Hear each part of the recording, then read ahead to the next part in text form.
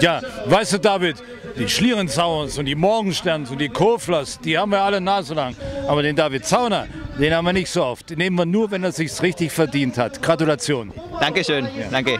So, und jetzt muss man natürlich nicht fragen, wie zufrieden du bist. Du strahlst da wie ein Honigkuchenpferd. Was ist der neue David Zauner? Hat er jetzt einen Wechsel zwischen Risiko oder eine Mischung zwischen Risiko und Vernunft?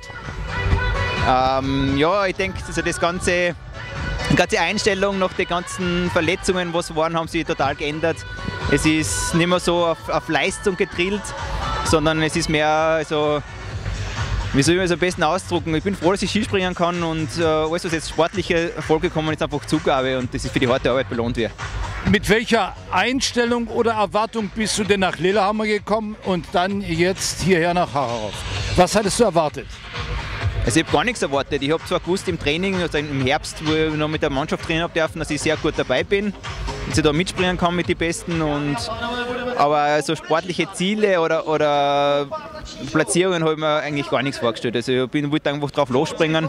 Und ja, in Lillehammer ist mir dann halt habe ich dann noch von Lillehammer auf jetzt ein bisschen umgestellt vom Material her und das scheint wieder gut zu funktionieren. Ja, mein lieber David, aber das müssen wir jetzt natürlich ändern mit den Zielen. Ja, das das geht, geht jetzt nicht so weiter. Jetzt kommen Ziele.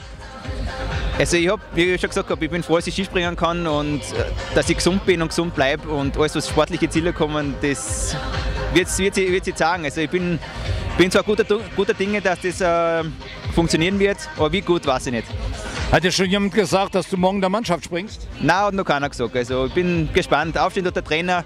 Ich bin sehr froh, dass ich, habe das Vertrauen geschenkt gekriegt von den Trainer, dass ich äh, in Deutsch in Haberkopf dabei sein dürfen und es war schon ein schönes Gefühl und jetzt bin ich gespannt, was morgen ist. Ja. Toi, toi, toi. Danke.